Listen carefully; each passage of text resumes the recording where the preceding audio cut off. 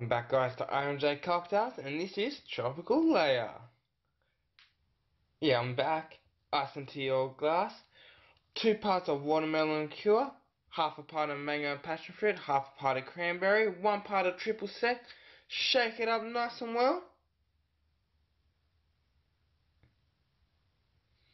Add 30 ml of blue curacao at the bottom of your glass. Top that with some ice. Now layer on the Mix nice and slowly. Just want to make sure you layer it on.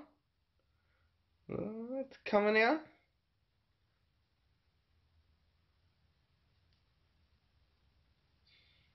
You can stop there and add a bit of white to make it like a Patriot. But I keep going all the way. Top that with a bit of lemon lime soda. Just so it's not all booze.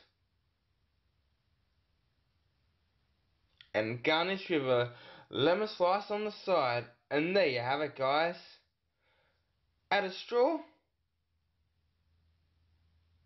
Thanks for watching. Make sure you like, comment, and subscribe. For any feedback, leave it in the comments. Thanks for watching. See you guys.